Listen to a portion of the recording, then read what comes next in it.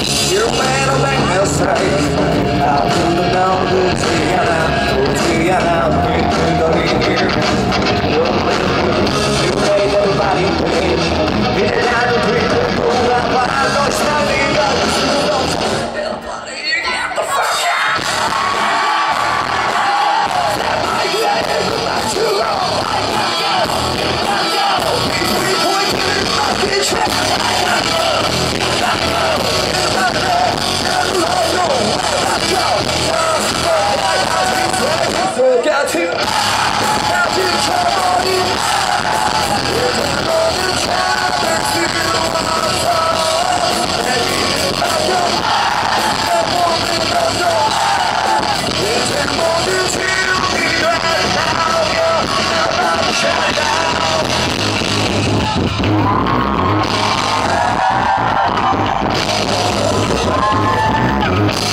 Let's get the party started